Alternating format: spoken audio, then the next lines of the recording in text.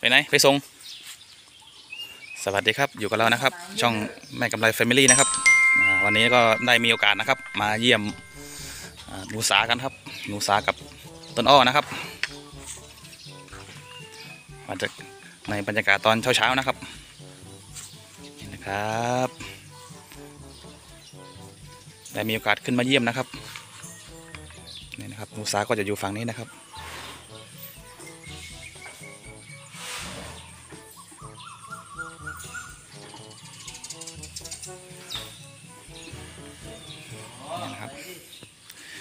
ต้นอ้อก็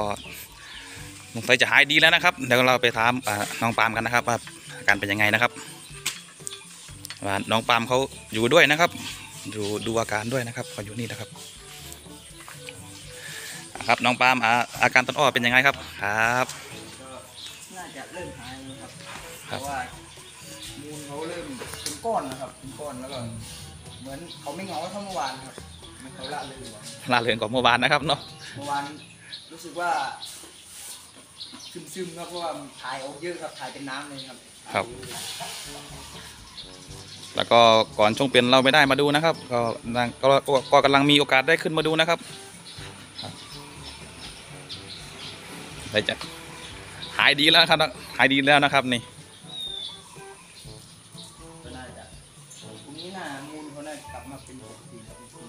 ครับ เพราะว่าวันนี้ก็ต้องให้กินไม้อีก ว่าช้างเขาเริ่มจากการดีขึ้นโลถ้าไม่ให้เขากินไม้โตกลัวเขาจะเป็นอ่าชายครับ ครับต้องช่วงนี้ต้องกินต้นไม้ไปก่อนนะครับยาก็ค่อยๆให้ไปเรื่อยๆนะครับยาก็ต้องให้น้อยครับไม่ต้องให้เยอะเท่าไหร่ครับเพราะว่าถ้าให้เยอะแล้วเขากินเยอะแล้วบางครั้งเขา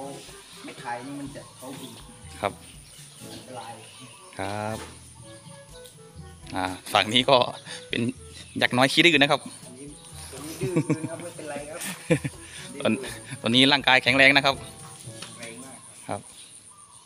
ชอบโยกควานครับครับ เห็นใครไม่ได้นะครับ ชอบชอบหยอกก่อนนะครับนี่ชอบชอบชอบโยนหญ้าทักทายก่อนชอบทักทายก่อนเลยนะครับนี่ นี่ก็หนูสานะครับ หนูสาก็ปกติดีแล้วครับนี่ครับหายเป็นปกติแล้วนะครับ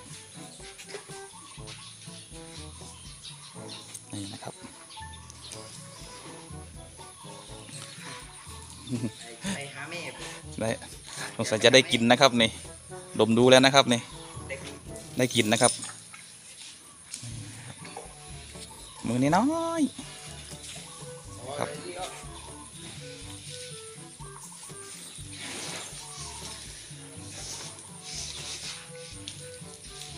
เอากินน้ำเยอะมากเลยนะครับนี่กินน้ำอย่างเยอะเลยนะครับฝั่งทางนู้นก็จะเป็นพี่พายงามนะครับ ฝั่งทางนู้นครับแต่งานเมื่อวานรู้สึกว่าขี้ไก่จะออกนะครับ มีขี้ไก่ออกด้วยนะครับ พี่พายงามของเรานะครับ รู้เวลาครับไปงานใกล้จะเข้าพรรษาแล้วไก่จะถึงฤดูกาลนะครับ เข้าพรรษา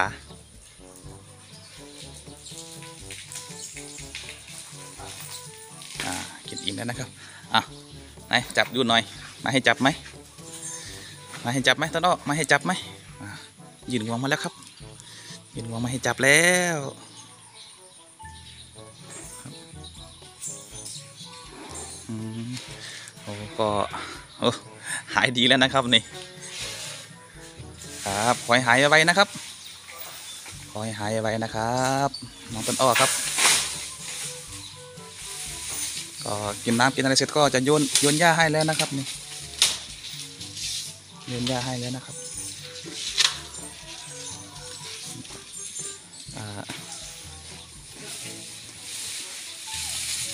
ครับก็อย่าลืมกดไลค์กดแชร์นะครับ กด subscribe ให้เราด้วยนะครับ ในช่องแม่กับไรแฟมิลี่ครับ